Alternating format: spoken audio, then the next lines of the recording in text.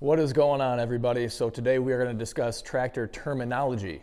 I hope I'm not the only one that's confused. So, there's some things that when I have customers ask me, I'm trying to figure out exactly what they mean because I think they may actually want something different. Uh, so, some of these terms are used interchangeably. Some of them are just labeled incorrectly. Some of them have that uh, generic name like Kleenex would have in the tissue world. Well, so like many of you, my goal is to get a little bit smarter every day. At least I try. So I'm sure there's some days where I'm taking a step backwards, but at least I think I'm taking a step forwards with this video here. So it helped me to get a little bit better understanding of some of those um, commonly used terms that are sometimes interchangeable and not, and hopefully it helps you too. So make sure you leave some comments below with other things that I missed or maybe something I got wrong. That does happen. So thanks so much for watching. Let's get to it. Oh, you know what? I forgot about this. I think there's a term that our buddy Tractor Time with Tim struggles with. Think you know what it is? We'll find out later.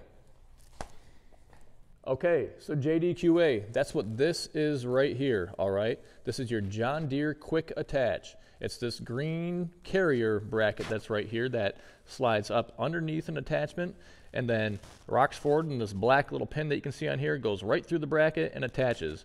This is John Deere style, their proprietary style of quick attach.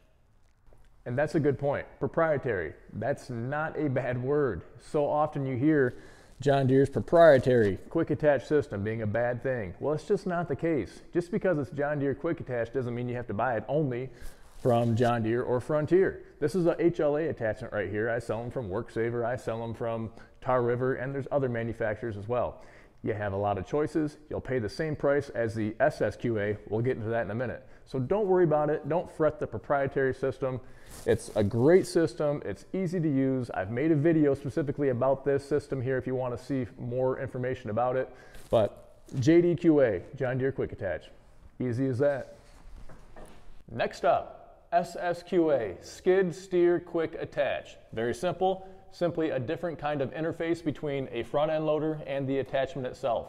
Whether it's a set of pallet forks like what you see here, could be a pusher, could be a bucket, you're simply going to have a different interface. And you can see there's two handles right here that you would grab. They're spring loaded. It's going to have a pin that drops down on either end here. Simply a different type of interface, uh, similar to the JDQA. But either way, they're both an attachment style. That's all it is. SSQA skid steer quick attach. ROPS, R-O-P-S. Yep, you can either fold it or you can leave it upright, okay? So this is gonna be your rollover protection system. So if this tractor tips to the side, well, if you have it up, then it's gonna protect you and keep it from rolling over. Hence the name. Pretty simple. Pretty much every tractor since, oh, I don't know, the early 2000s has had this whenever that safety feature was implemented, but rollover protection system, commonly referred to as ROPS. PTO, power takeoff. You see this spline sticking out here, okay? This is called a rear PTO, a rear power takeoff. You hook up an attachment to this, a, a, long shaft here, and it'll go to a gearbox, and it can drive a tiller, for instance, or it can drive a brush hog or a rotary cutter. Ooh, that's foreshadowing, that's coming up too. You have rear PTO, and you also have mid PTO. That's this little guy I'm shining the light on right here. See those splines? This is what's going to run your belly mower or a front mount snow blower, for instance. Mid PTO. PTO, power take off. Typically, you'll have a mid and a rear. Not all models will have the mid. What's that you say? What about front PTO? Oh, uh, well, I really just sell tractors with mid and with rear. So when I think of front PTO, it's typically going to be a long shaft that ties into the mid PTO runs all the way up front, and that's what's going to allow you to run that snowblower or a broom, that kind of attachment on the front. Yeah, there's some models out there that do have an actual true front PTO, but they're few and far between. They're nothing that I sell, and so typically I say it's non-existent, at least in this modern tractor world. Next acronym, SCVs, Selective Control Valves, okay? Most every tractor, the first two, the number one, the number two, are gonna control your front end loader. If you want to control any other hydraulic function, like how your loader goes up and down and the bucket curls and rolls, you need to have additional SCVs, selective control valves. You see two of these, and that's one control valve, okay? You have to have flow going one way, and then if you want the function to reverse, you have to have flow going the other way. That's why you see a pair of these here. So there's one, here's one, here's one. This tractor is set up with three additional SCVs. You have the third function right here, you have the fourth function down below, and the fifth function up top. Next up, PB. Well, you don't see that here on this tractor, but I just had a video recently of another one. I'll throw up the video. What PB is, Power Beyond, it's gonna run items like a backhoe, an attachment that has its own controls. So if you're sitting on that backhoe seat, you have those controls there where you can make the backhoe do whatever you want it to do. That's what Power Beyond is for. This type of remote right here does not allow for backhoe operation. While we're back here, why not? Let's talk T and T, okay? Top and tilt. Hydraulic cylinder for your top link, hydraulic cylinder for the side link. Allows you to hydraulically go in or out angle and hydraulically up and down angle this way, okay? That's all it is, T and T, top and tilt. Snowblower or snow thrower? Which is it? Is there a difference? Isn't it just the same thing? Okay, so I had to do some research on this one to really see what the internet thought, because the internet knows everything, right? So a snowblower is going to be what you see here. Both of these guys are what the internet calls a snowblower. Okay, so you have an auger here that's going to be spinning around, and uh, as you drive forward, the snow is going to be going right towards here. It's going to be sucking it in and taking it towards this impeller that's back here. So you have this shaft here that's driving the auger, that's making everything spin and take the snow right up here towards the chute. And then you have an impeller back here that's spinning around and actually shooting the snow out, okay? And so it's a two stage or a dual stage, you might hear it called. Okay, this one is doing the same exact thing, just a little bit bigger version of that. A snow thrower, on the other hand, is going to be a one stage, and so you're not going to have this additional impeller that's back here doing anything, okay? You're simply going to have the main auger here and it's going to do the work of collecting that snow towards the middle, but then also shooting it out at the same time. So you'll see a lot of this on walk behind machines, for instance, or really small snow blowers that are on garden tractors. Uh, sometimes the older subcompacts will have those single stage snow throwers as well. I think it's okay to interchange that term snow thrower and snow blower. I have commonly used the term snow blower to describe all of those for all of my existence, and I think I'm just fine with that. For me, the bigger difference is that it's a one stage versus a two stage, or a single stage versus a dual stage, okay? That's the thing that you want to clarify. I happened to be in my local Ace Hardware and saw a Toro snow thrower right in there, okay? So take a look at that too. I gotta admit, this one still has me a little bit confused. So you have implements, you have attachments, and you have accessories, right? Well, the accessories, I think those are pretty easy to figure out. You got these mirrors here. You know, if you get one of those knob spinners, that kind of thing, you know, those are accessories. If you add on an LED light bar, that's an accessory, right? However, what's the difference between an implement and an attachment? But if you're one of those that needs to distinguish an implement from an attachment, well, we'll go ahead and go through that now. An attachment is something that's attached to your tractor. I guess you must need to think about it in more of a semi-permanent manner because essentially any implement could also be attached to your tractor. But my understanding is something like a front end loader or a backhoe, for instance. Those are two popular examples of what an attachment for your tractor might be. An implement, on the other hand, would be something that goes on the front of the loader or the three-point hitch of the tractor, something like a snow pusher or pallet forks, or perhaps you have a plow or a tiller or a brush hog. Perhaps those are implements. However, there's also an even further level to the implement, which is that it has to be ground engaging. I don't know where these rules are coming from. I prefer to call all of them attachments. It really simplifies it for me. And does it really matter in the long run? Let me count the names. Let's see. Rotary cutter, rotary chopper, brush hog, bush hog, rotary mower, finish mower, rotary chopper. What else? I'm sure I'm forgetting some. This thing is called a lot of things. Some of those names are correct, in my opinion, and some of them are a completely different implement.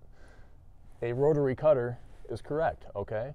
Also known as a brush hog or a bush hog. Kind of like, I think anyways, how Kleenex is uh, the common name heard for tissue. I think a bush hog, being a very popular brand a while back, uh, was commonly referred to and, described rotary cutters, okay? And so rotary cutters are very different from finish mowers and they do a, a different type of cutting. These are a very thick, heavy blade that's made for just chopping, taking down heavy brush, and, and not really leaving a fine manicured uh, field or pasture, okay? Where a finish mower, on the other hand, is what you would see uh, on, a, on a rear finish mower, you know, or even a belly mower that could be a finish mower. But these heavy blades right here are not intended to give you that really fine cut like a rotary mower, okay? What you're taking a look at right here is a finish mower, okay? This is a rear finish mower.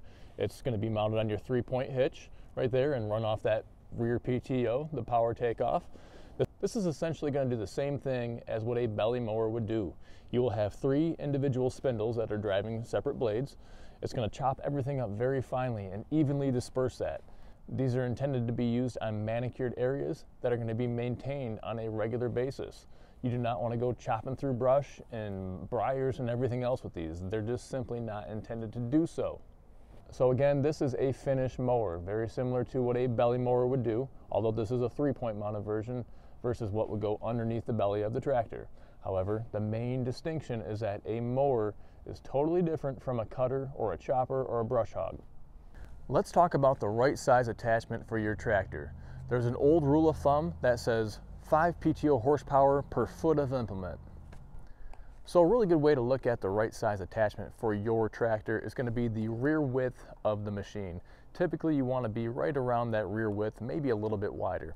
This goes for buckets, it goes for tillers, it goes for brush hogs, it goes for grapples. So there are a few attachments you can go wider than the tractor without really having any troubles. Things like a landscape rake or a rear blade or even a land leveler.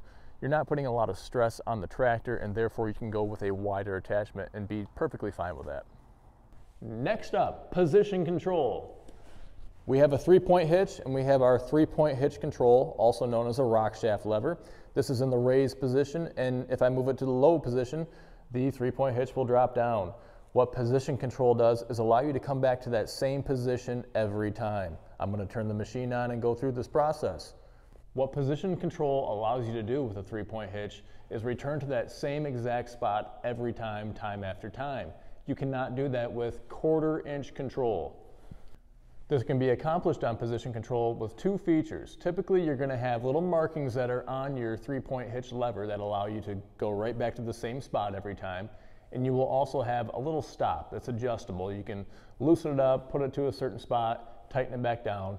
So when you raise and lower that three-point hitch, it goes right back down to that stop, the same spot, the same position every time. In comparison, quarter inch control, you push it down and let go, comes right back to the middle. You push it up and let go, it comes right back to the middle, okay? So this is only gonna move down as long as you're holding it down. And it's only gonna move up as long as you're holding it up. If you wanna try to get to the same spot every time, when you're lowering something, you gotta lower it down a little bit, a little bit more, oop, gotta raise it up a little bit, down a little bit, and you're kind of guessing at the right position for your three-point implement. That's the difference between a quarter inch control and position control. Okay, so now we have just one little bone to pick with our buddy Tim, okay? Tractor time with Tim if somehow you guys don't know. But I love everything the guy does. I just have one bone to pick with him. Did you guys figure it out? Do you know what it is? Yeah, it's grease. Grease? What's so complicated about grease, you say? Well, nothing. I mean, when I go to grease my tractor, I'm greasing my tractor. I'm greasing the fittings. When I go to the store, I'm looking for grease. If I ask the salesman for help, where's your grease at? No problem. Right over here, sir. If I go to Amazon, I want to order it on Amazon. I just type in grease. You know, G R E A S E. Yeah, there's no Z in there. But some folks prefer to call it greaze or grease in their tractors. That's okay. Maybe some of you are on the greaze wagon too. But for me, it's grease. That's all. all right, guys, what I get right, what I get wrong, what did I forget about? You got some other stuff? Leave it in the comments below. While you're at it, please subscribe to my YouTube channel, like my Facebook page, make sure you check out my other videos, and we'll see you in the next one. Take care.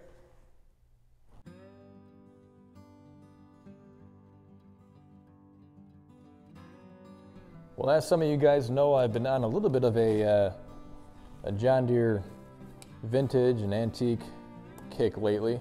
This sign here isn't exactly either one of those, it's brand new, but it was uh, a pretty cool item there, so I had to get that. But what this is here is an item I purchased off of eBay.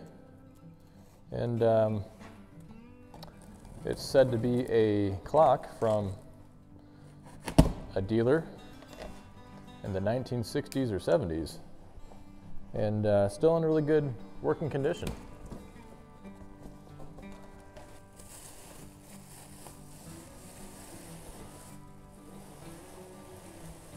Oh yeah, that's really cool. So what we have here is a really cool old clock. And, and as I'm kind of getting more into this, you know, I'm learning more about, you know, the different uh, vintages and ages of these relics. And it's kind of hard to figure out, but this is a, a four-legged version here, which is of an older era as well. And a lot of this stuff has been reproduced and you can't see it, but down on the bottom here, it says Telechron Inc., Ashland, Massachusetts, USA. Uh, it does say John Deere, it does not have a date on there anywhere. And it does light up. If we take a look at the back, see it's got a couple of the uh, locations there, those little covers there for the bulbs. It says use 15 watt lamps only on there. It does plug in. We'll go ahead and plug it in now and make sure it's still working.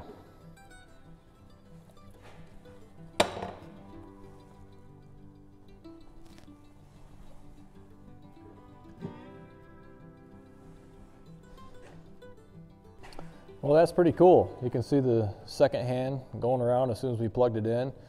Got one of the bulbs in there that's working just fine. Looks like the other bulb is out. In the pictures that they sent me in the listing, both of them are working. I think what I'm gonna do tomorrow is just go get another bulb, a 15 water there, probably two of them, and put a fresh bulb on either side there and make sure both are functioning as they should. It'll be great once I get this time set here to get it uh, set and monitor it for a day or two as well, make sure it's still keeping accurate time. But really, it's a pretty cool relic. You know, I'm happy to have it. I think it'll dress up the place a little bit, and I'm just going to kind of keep chipping away and adding more stuff as I go along.